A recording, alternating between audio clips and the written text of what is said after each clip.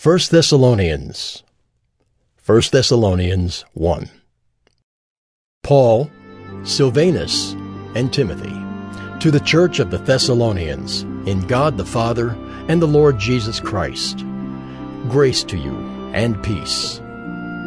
We give thanks to God always for all of you, constantly mentioning you in our prayers, remembering before our God and Father your work of faith and labor of love and steadfastness of hope in our Lord Jesus Christ. For we know, brothers loved by God, that He has chosen you, because our gospel came to you not only in word, but also in power, and in the Holy Spirit, and with full conviction. You know what kind of men we proved to be among you for your sake. And you became imitators of us and of the Lord, for you received the word in much affliction with the joy of the Holy Spirit, so that you became an example to all the believers in Macedonia and in Achaia. For not only has the word of the Lord sounded forth from you in Macedonia and Achaia, but your faith in God has gone forth everywhere, so that we need not say anything. For they themselves report concerning us the kind of reception we had among you, and how you turned to God from idols to serve the living and true God, and to wait for his Son from heaven, whom he raised from the dead, Jesus, who delivers us from the wrath to come. 1 Thessalonians 2 For you yourselves know, brothers, that our coming to you was not in vain. But though we had already suffered and been shamefully treated at Philippi, as you know, we had boldness in our God to declare to you the gospel of God in the midst of much conflict. For our appeal does not spring from error or impurity or any attempt to deceive. But just as we have been approved by God to be entrusted with the gospel, so we speak, not to please man, but to please God, who tests our hearts. For we never came with words of flattery, as you know, nor with a pretext for greed. God is witness. Nor did we seek glory from people, whether from you or from others, though we could have made demands as apostles of Christ. But we were gentle among you, like a nursing mother taking care of her own children. So, being affectionately desirous of you, we were ready to share with you not only the gospel of God, but also our own selves, because you had become very dear to us. For you remember, brothers, our labor and toil. We worked night and day, that we might not be a burden to any of you, while we proclaim to you the gospel of God. You are witnesses, and God also, how holy and righteous and blameless was our conduct toward you believers. For you know how, like a father with his children, we exhorted each one of you and encouraged you and charged you to walk in a manner worthy of God, who calls you into his own kingdom and glory. And we also thank God constantly for this that when you received the Word of God, which you heard from us, you accepted it not as the Word of men, but as what it really is the Word of God, which is at work in you believers. For you, brothers, became imitators of the churches of God in Christ Jesus that are in Judea. For you suffered the same things from your own countrymen as they did from the Jews, who killed both the Lord Jesus and the prophets, and drove us out, and displease God and oppose all mankind by hindering us from speaking to the Gentiles that they might be saved, so as always to fill up the measure of their sins. But God's wrath has come upon them at last. But since we were torn away from you, brothers, for a short time, in person, not in heart, we endeavored the more eagerly and with great desire to see you face to face. Because we wanted to come to you. I, Paul, again and again, but Satan hindered us. For what is our hope or joy or crown of boasting before our Lord Jesus at his coming? Is it not you? For you are our glory and joy.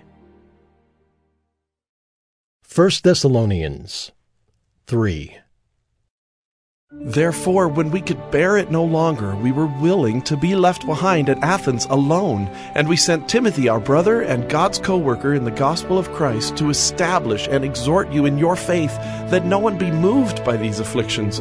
For you yourselves know that we are destined for this. For when we were with you, we kept telling you beforehand that we were to suffer affliction, just as it has come to pass, and just as you know. For this reason, when I could bear it no longer, I sent to learn about your faith, for fear that somehow the tempter had tempted you, and our labor would be in vain. But now that Timothy has come to us from you, and has brought us the good news of your faith and love, and reported that you always remember us kindly and long to see us, as we long to see you. For this reason, brothers, in all our distress and affliction, we have been comforted about you through your faith.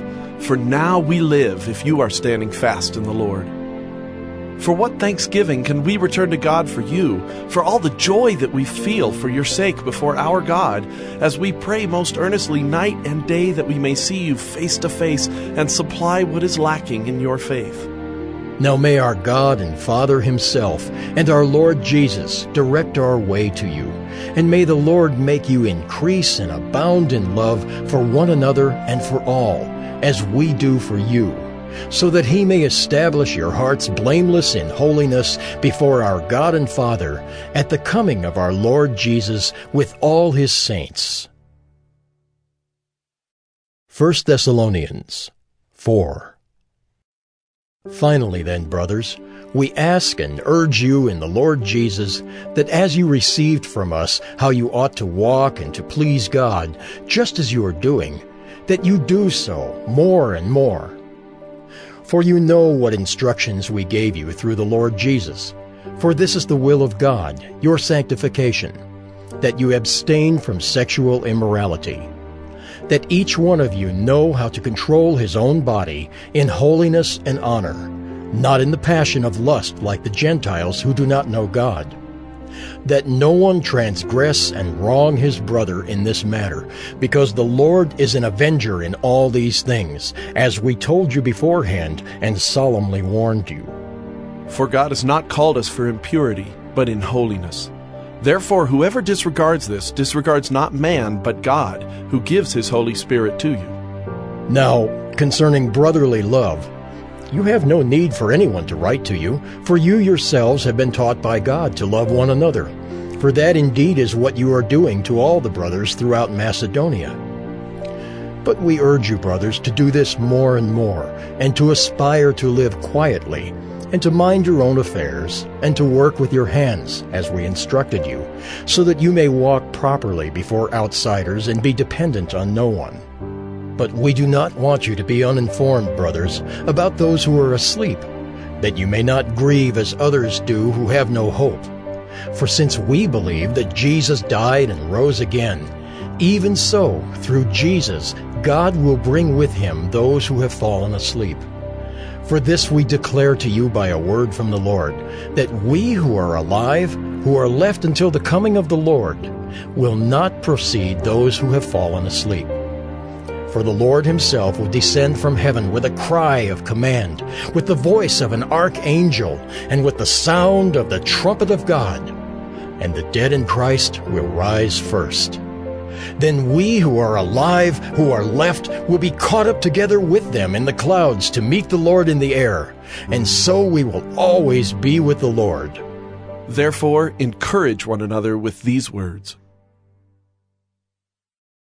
1 Thessalonians 5 Now concerning the times and the seasons, brothers, you have no need to have anything written to you, for you yourselves are fully aware that the day of the Lord will come like a thief in the night. While people are saying, There is peace and security, then sudden destruction will come upon them, as labor pains come upon a pregnant woman, and they will not escape. But you are not in darkness, brothers, for that day to surprise you like a thief. For you are all children of light, children of the day. We are not of the night or of the darkness. So then let us not sleep as others do, but let us keep awake and be sober. For those who sleep, sleep at night, and those who get drunk are drunk at night. But since we belong to the day, let us be sober, having put on the breastplate of faith and love, and for a helmet the hope of salvation. For God has not destined us for wrath, but to obtain salvation through our Lord Jesus Christ, who died for us, so that whether we are awake or asleep, we might live with him. Therefore, encourage one another and build one another up, just as you are doing. We ask you, brothers, to respect those who labor among you and are over you in the Lord, and admonish you, and to esteem them very highly in love because of their work. Be at peace among yourselves. And we urge you, brothers, admonish the idle, encourage the faint hearted, help the weak, be patient with them all. See that no one repays anyone evil for evil, but always seek to do good to one another and to everyone. Rejoice always, pray without ceasing. Give thanks in all circumstances, for this is the will of God in Christ Jesus for you. Do not quench the Spirit. Do not despise prophecies, but test everything. Hold fast what is good. Abstain from every form of evil. Now, may the God of peace himself sanctify you completely, and may your whole spirit and soul and body be kept blameless at the coming of our Lord Jesus Christ. He who calls you is faithful. He will surely do it. Brothers, pray for us. Greet all the brothers with a holy kiss. I put you under oath before the Lord to have this letter read to all the brothers. The grace of our Lord Jesus Christ be with you.